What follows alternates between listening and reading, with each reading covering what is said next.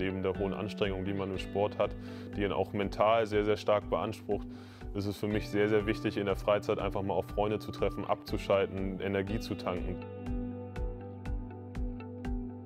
Ich genieße es ungemein, die Zeit auf sich zukommen zu lassen, sich keine Ziele zu stecken, wie es im Sport der Fall ist, dass man wirklich einen durchgetakteten Tagesablauf hat, sondern einfach mal sich mit einem Freund trifft und einfach mal das macht, worauf man gerade Lust hat. Genau solche Momente geben mir nochmal zusätzliche Energie, um meine hohen Ziele zu erreichen.